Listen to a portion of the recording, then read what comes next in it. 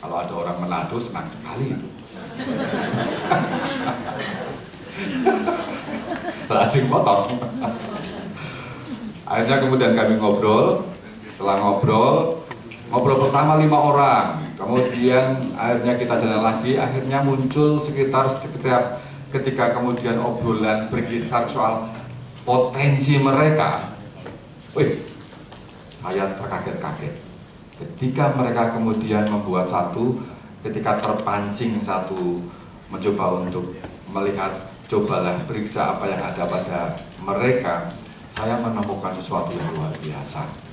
Sehingga yang muncul adalah soal mas slide yang satu mas. Slide yang satu tindakan yang luar biasa bapak ibu sekalian. Dan ini yang kemudian ketika saya datang itu orang ragu-ragu bahwa Papua itu sekarang itu amat sangat mudah, orang tidak mudah untuk berbuat bersama-sama karena ada uang. Saya nggak bawa uang. Saya hanya membawa, maaf, saya perokok saya. Tetapi mereka pun juga merokok. Prinsipnya adalah ketika dia sudah berani minta rokok kepada saya, pasti dia merasa mau dekat dengan saya. Sehingga saya lepaskan rokok satu dan setelah itu kita bisa omong sampai pagi dengan mereka. Muncul gerakan seperti ini. Siapa pun masuk kebun tidak orang Kristen tidak Katolik hanya ada dua Kristen dan Katolik di sana. Ini adalah campuran bukan hanya orang Katolik Kristen dan Katolik. Jadi satu. Untuk kemudian bersama-sama bekerja di situ. Saya pun harus juga berkotor-kotor dengan mereka.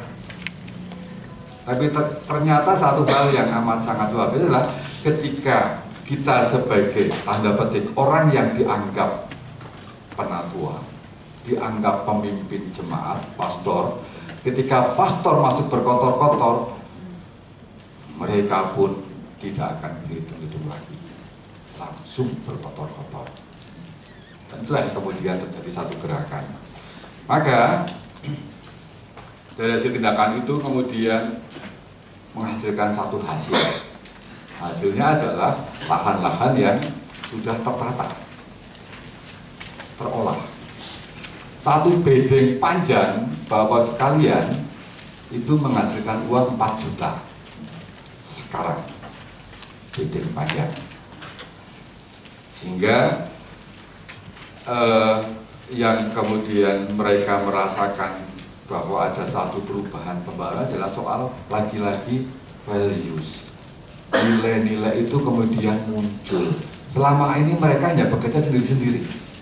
Sehingga kecil-kecil dia.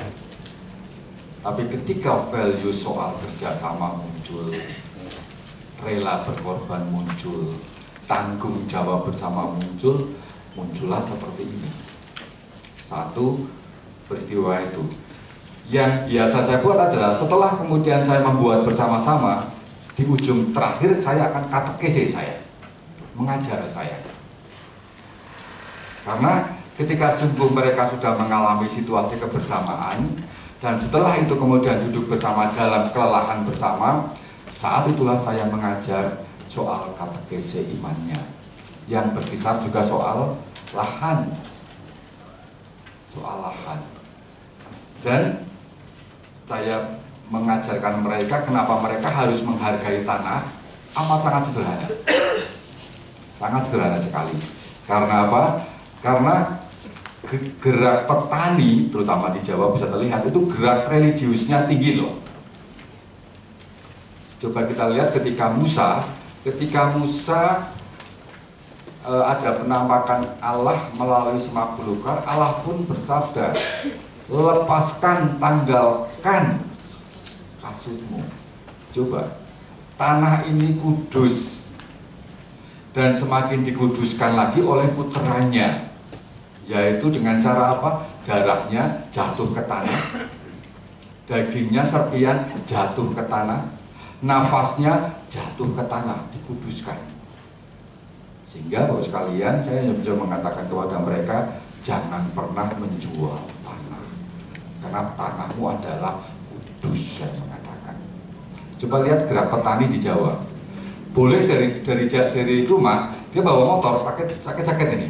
Tapi lihat, ketika dia sampai di lahan, dia melepaskan jaketnya.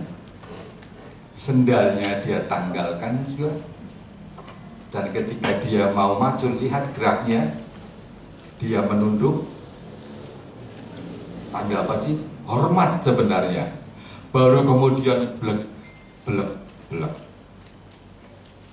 Dan yang kemudian saya omongkan pada mereka adalah bahwa dalam kisah kejadian manusia itu diciptakan dari tanah dan menjadi hidup karena diberi oleh nafasnya tapi manusia punya kehidupan kalau nafasnya dikembalikan lagi ke dalam tanah lewat apa?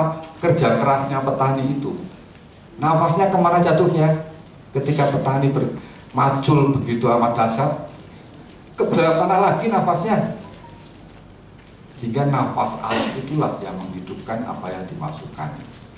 Dan sungguh luar biasa ketika saya itu beberapa orang kemudian mengaku dosa.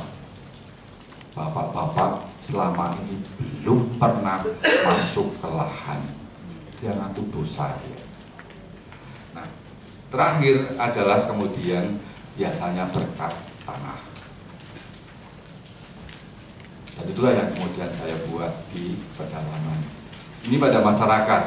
Dan yang terakhir adalah ketika saya di seminari menengah calon imam.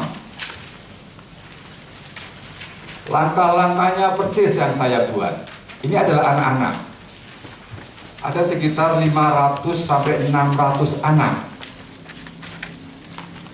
Dan ketika saya masuk ke sana, saya bertanya pada di dapur, Bu, berapa rupiah habis untuk beli sayur satu minggu 600 ribu sementara lahan di depan itu nggak ditanami apa-apa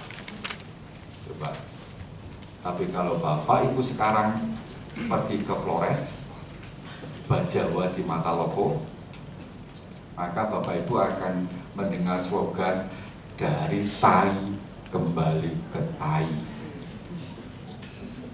Betul, dari tai kembali ke tai. Karena apa? Setelah kemudian lahan terolah, pupuknya adalah apa? Coba lihat 500 anak. Orang Flores, anak Flores makannya banyak. Selama ini dibuang percuma loh kotorannya. Maka saya minta tolong mungkin kenal ada teman dari Ganjuran Pak Gregorius Suharyana mungkin pernah kenal saya ke sana sehingga mereka sekarang kotorannya itu nya itu tuh menjadi pupuk jadi biogasnya untuk masak limbah cairnya dan limbah padatnya masuk ke kebun sayur kan dari tai ke ke tai tapi kalau Bapak Ibu melihat sayurnya, sayurannya hasilnya luar biasa. Itu yang itu yang luar biasanya Tuhan Allah mas ya. Luar biasanya. Dari tai kembali tapi tidak rasa tai. Itu yang luar biasa. Jadi ini dua contoh. Satu di Kuskupan di Kuskupan Flores, satu di Kuskupan Papua. Di Kalimantan juga saya membuat demikian. Jadi begitu Pak Moderator beberapa hal yang ingin saya sampaikan bahwa sebenarnya ketika ngomong soal soal apa diakonia transformatif maka gerak transformasinya itu hanya menghidupi nilai dan menghidupkan nilai. Hanya itu. Dan itu yang sudah coba kami buat. Dan sungguh kalau sekalian tidak semua pastor bisa menangkap ini. Dan belum semua pastor melakukan ini kalau Bapak Ibu sekalian melihat tata perayaan di gereja Katolik bentar lagi Natal ini ah meriah sekali meriah sekali tetapi kemerihan itu belum belum sampai dirasakan di lahan-lahan yang seperti itu. Itu masih dalam satu kotak bangunan di gereja, belum keluar. Dan ini butuh perjuangan sampai saat ini. Biarpun paus kita, Fransiskus, itu selalu ngomong soal kemiskinan, keadilan, kebenaran, tapi belum juga. Begitu, terima kasih. Ya, terima kasih. Sangat efektif dan baik. Sayur tadi udah sampai ke Jawa belum?